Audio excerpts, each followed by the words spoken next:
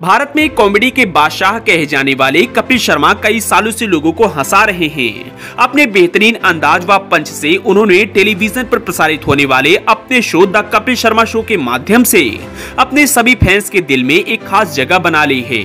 आपको बता दें कि अब तक कपिल के शो में खेल जगत से Dwayne Bravo, Virender Sehwag, Wasim Akram, Chris Gayle और कई अन्य क्रिकेटरों ने इस शो में शिरकत की है।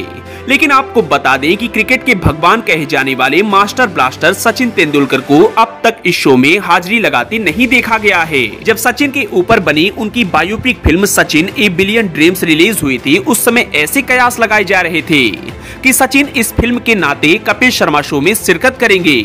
लेकिन ऐसा कुछ नहीं हुआ और सचिन तेंदुलकर के फैंस के लिए उस दौरान एक बुरी खबर आई थी। और वो खबर ये थी कि कपिल शर्मा के शो में सचिन शायद अब कभी भी नहीं आएँगे।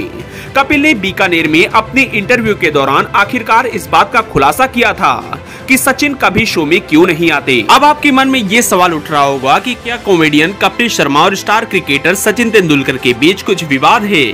तो चलिए आपके इस कयास को दूर करते हैं। आपको बता दें कि उन दोनों के बीच कुछ भी ऐसा विवाद नहीं है। हालाँकि कारण बहुत छोटा है, जिसकी वजह से कपिल शर्मा के शो में सचिन नहीं जाते। कपिल ने मीडिया से कहा था कि वह अपने शो में हर ऐसे सेलिब्रिटी को इनवाइट करना चाहते हैं, जो लोगों को कुछ सीख दे, प्रेरणा दे। सचिन तेंदुलकर और मशहूर गायिका लता मंगेशकर बहुत ही प्रेरणादायक हैं। कपिल ने इन दोनों से शो में आने की उस वक्त गुजारिश की थी, जबकि दोनों ने एक ही बात कही। उन्होंने कहा कि शो में आने के बाद वे क्या करेंगे? वे तो लोगों को हंसाना भी नहीं जानते।